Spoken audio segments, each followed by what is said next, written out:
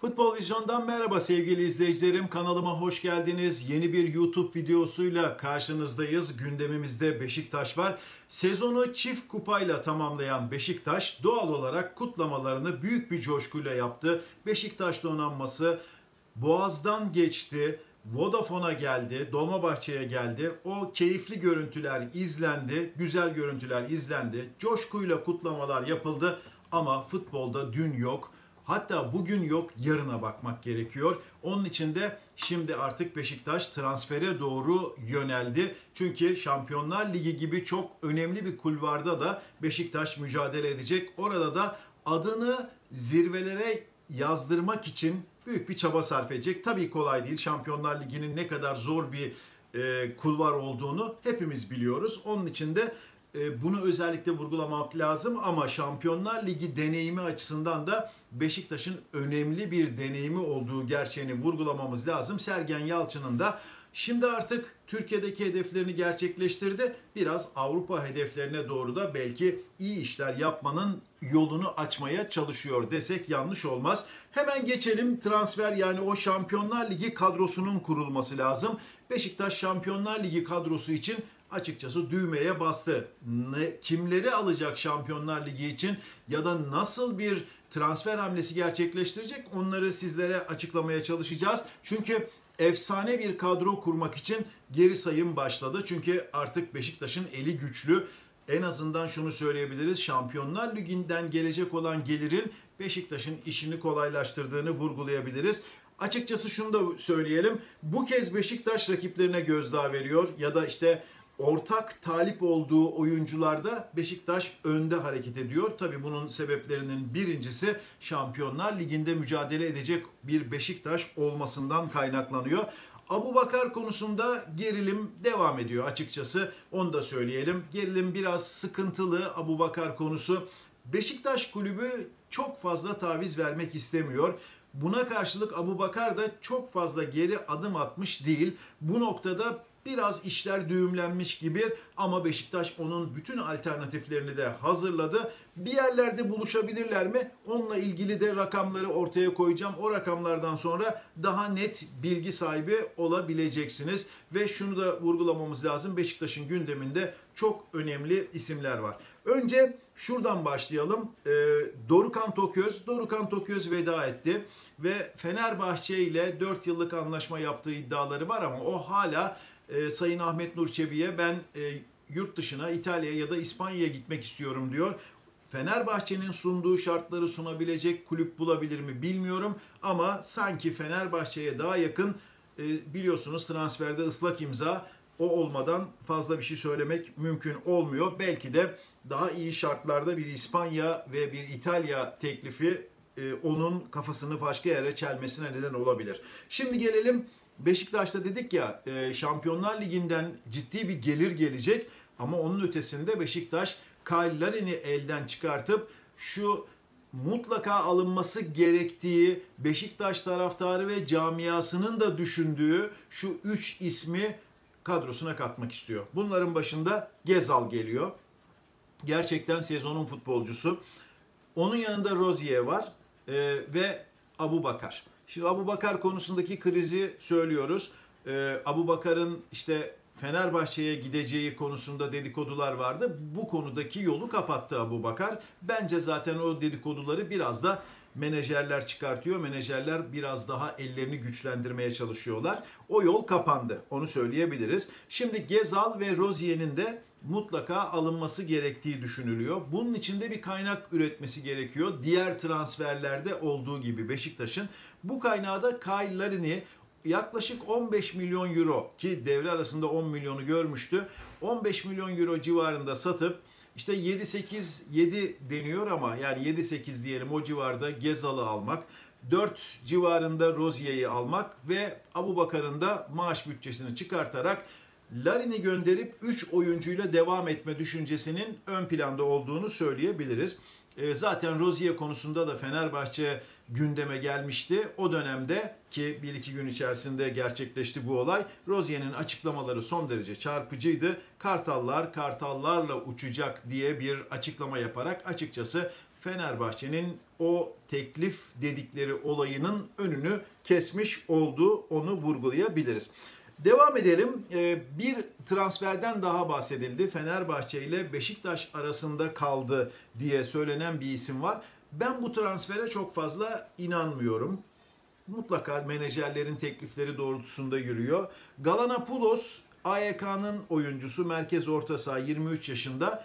Neden inanmadığımı da söyleyeyim. Çünkü oyuncunun sözleşmesi devam ediyor. 2023'e kadar sözleşmesi var. Evet U23 takımı Yunanistan'ın oynayan, A takımında oynayan bir oyuncu ama 2023'e kadar sözleşmesi var. Bir de fiyat çekilmiş o da 10 milyon euro bonservisi için. Yani bu, bu, bu şartlarda bir Türk kulübünün 10 milyon euro vererek geleceğe yatırım yapacağı konusunda bakın Beşiktaş demiyorum bir Türk kulübünün yatırım yapacağı konusunda benim bir inancım yok. Galanapoulos açıkçası çok fazla iyimserlik olur Galanapoulos'la ilgili açıklamalar.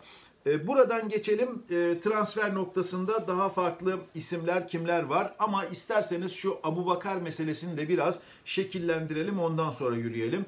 Biliyorsunuz Abu Bakar sadece bir maç oynamadığı için sözleşmesi bir yıl daha uzamadı. Uzasaydı 1,5 milyon euroya sözleşmesi devam edecekti.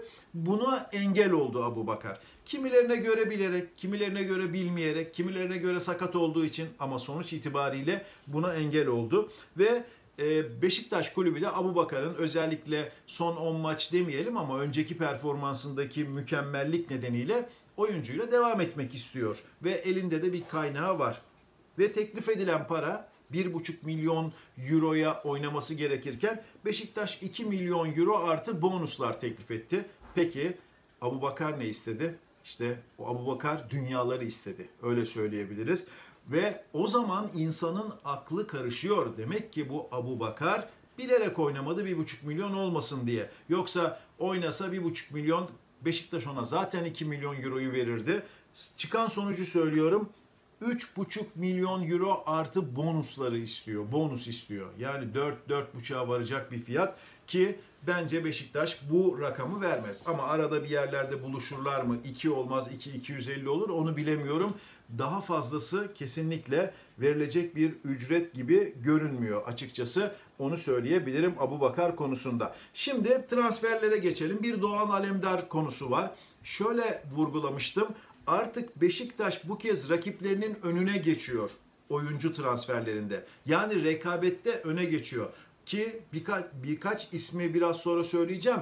Burada Fenerbahçe ile Galatasaray'la, Trabzonspor'la rekabet ettiği isimler olduğunu vurgulayacağım. Ama Beşiktaş elinde bir maddi kozu, iki Şampiyonlar Ligi kozunu iyi kullanmak istiyor. Bu noktada da Doğan Alemdar'a Fenerbahçe gibi Beşiktaş'ın da teklif ettiği Doğan Alemdar'ı da kadroya alıp işte 3 önemli kaleciyle yola devam etmek istiyor. Çünkü 3 kaleciye ihtiyaç var. Doğan Alemdar da bu sezon oynadığı futbolla açıkçası dedi ki ben Süper Lig'de de Şampiyonlar Ligi'nde de ihtiyaç duyulursa kaleyi koruyabilecek düzeyde bir oyuncuyum mesajını verdi. Şimdi en önemli konu Salih Uçan konusu. Orada da Beşiktaş, Galatasaray ve Trabzonspor'la mücadele ediyor. Salih Uçan 10 gün içinde kararımı vereceğim dedi. Galatasaray vazgeçmiyor.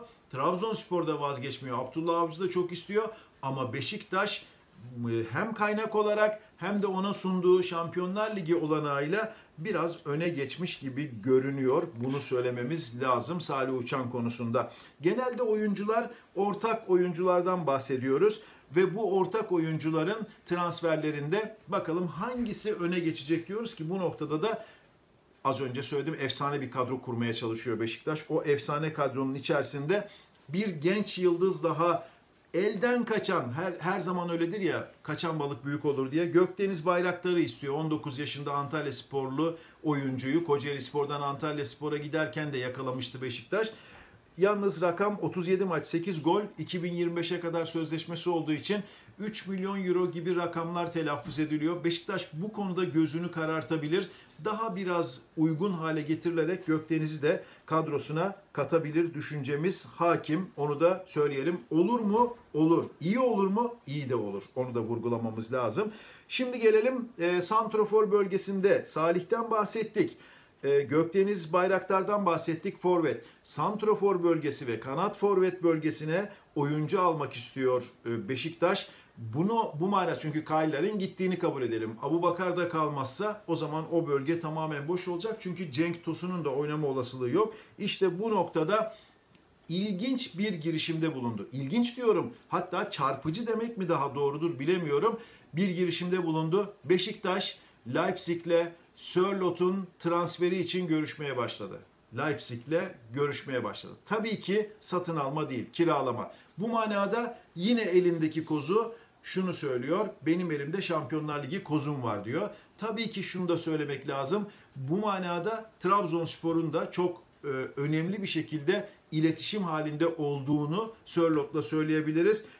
Oraya mı gider, buraya mı gider ya da başka bir kulübe mi gider onu net bilmek mümkün değil. Ama Beşiktaş artık elindeki kozları kullanarak hareket etmek istiyor. Sörlot konusunda da çok önemli bir avantajının olduğunu vurgulamamız gerekiyor. Şimdi Salih dedik, Sörlot dedik, Doğan Alemdar dedik, Gökdeniz Bayraktar dedik. Bir isim daha var yine Beşiktaş'ın gündeminde ama bu zaten sezon başından beri vardı ama e, sonuçlanamamıştı. Kenan Karaman, milli takımımızın da yıldızlarından kanat forvet olarak oynayan Kenan Karaman söz gelimi e, aynı şekilde sağ tarafta ya da sol tarafta Kyle Larin'den aldığınız performansı alabileceğiniz bir oyuncu. Burada da e, Fenerbahçe'de var burada devrede. Fenerbahçe, Galatasaray, Trabzonspor'la Beşiktaş ciddi bir mücadelenin içerisine girdi. Açıkçası bazı oyuncular konusunda Beşiktaş'ın net çalımlar atacağını söyleyebiliriz transferde ki böyle görünüyor. Bu noktada bir isimden daha bahsedelim. Galatasaray'daki bu yönetim teknik adam belirsizliğinin ötesinde Brentford'un da 3 milyon eurolar gibi rakamlar telaffuz ettiği bir ortamda Beşiktaş Halil Dervişoğlu'nu da ki Halil Dervişoğlu'nu daha önce Trabzonspor ve Beşiktaş'ta istemişti. Halil Dervişoğlu'nu da kadrosuna katmak için girişimlere başladığını söyleyebiliriz.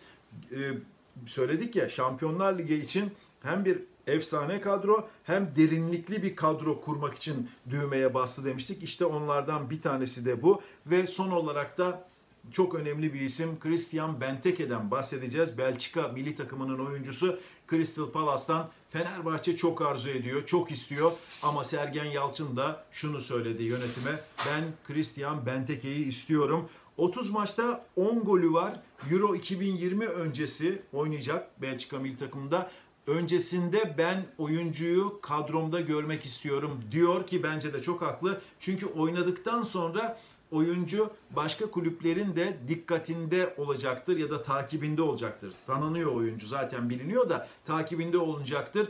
O manada bu konuda hızlı davranmak önemli bir avantaj olacaktır. Euro 2020 başlamadan bu transferi mümkünse bitirelim diyor Sergen Yalçın. E Şampiyonlar Ligi'ne götüren bir hocanın bir isteğini de kırmadan yerine getirmek Ahmet Nur Çebi ve yönetimin e, bence e, yapacağı en önemli iş olacak.